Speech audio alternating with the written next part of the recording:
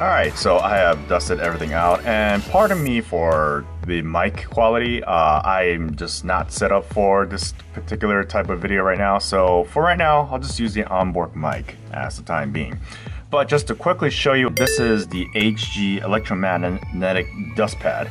And as you can see here, I've made quite a mess. Uh, I've been uh, sanding all these and carving all this just to prepare for my next video.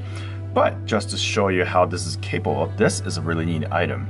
So I've been using several sanding sticks, the big one and the small ones. As you can see at the back of these sanding sticks, there's gonna be these white residues that you see. Uh, those are the plastic uh, particles that I have shaved off just for the detail up. And kind of the common problem that you see with these is that, you know, once you reuse them again, how do you clean this out so you can reuse it more and more? Normally when after people use their sanding sticks, it's just throw it away.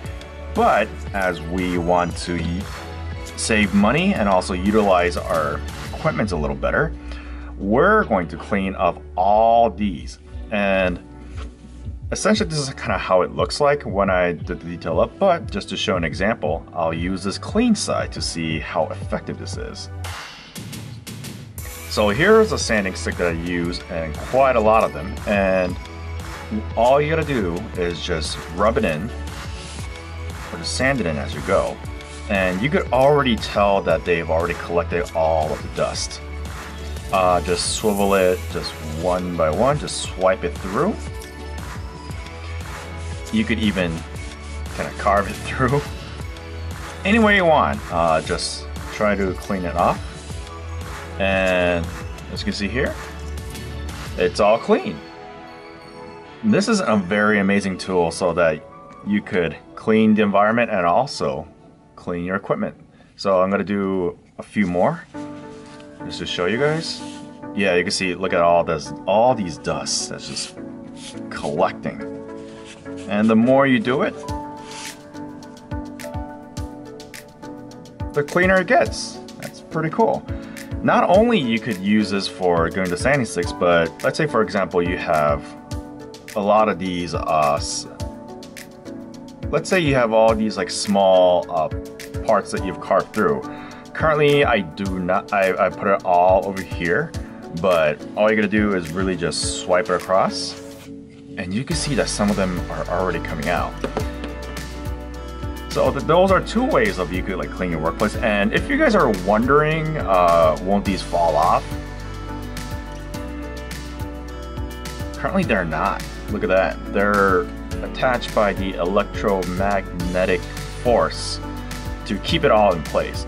This would be very useful, like, for, let's say you have, you're, you're cleaning your cutting mat with all the residues, and they're all picking them up. As you can see here, all of the salt scrap that was on the cutting mat, it's been collected. So the next thing is, next question is, how do you clean this? Well, two ways. One, you could just go to a well-ventilated area and just pat them out. Or you could use a vacuum cleaner.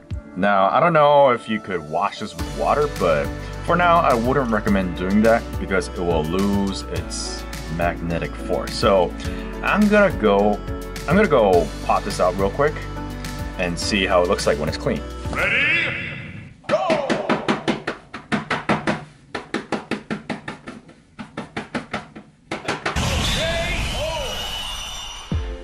Alright, that only took like five seconds to do, and look at that.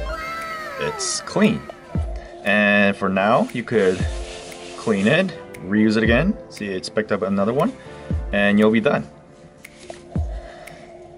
So this is this is highly recommended for you guys if you can like find it. Uh, I think this goes around 900 yen in Japanese, which is about nine bucks.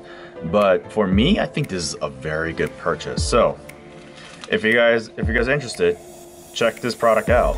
Uh, this was a very quick video of this review, and I'll see you in the next video. Thanks for watching. Bye bye.